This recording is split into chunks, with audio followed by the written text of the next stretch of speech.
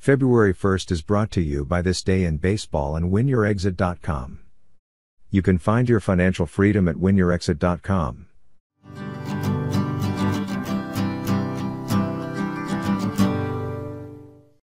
On February 1, 1973, Monte Irvin is elected to the Hall of Fame by the Special Committee on the Negro Leagues. One of the finest African American players in the years preceding integration. Irvin becomes the fourth player to gain election through the committee. Joining Satchel Paige, Josh Gibson, and Buck Leonard.